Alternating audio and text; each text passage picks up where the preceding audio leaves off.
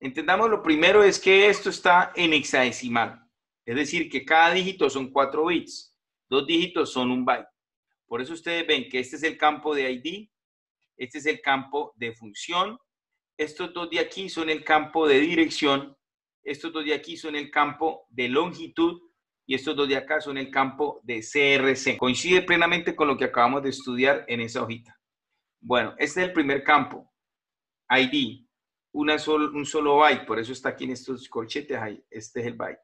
Aquí ID le estoy hablando, al ID 1. ¿De dónde sale esto? De aquí. Yo estas configuraciones que hago como maestro son las configuraciones que se están yendo acá en la trama. Si yo en algún momento llego y digo ID 5,